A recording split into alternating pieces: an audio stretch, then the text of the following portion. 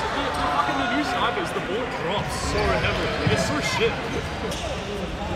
Nah, that's why I was playing Friday last night. I was like, too.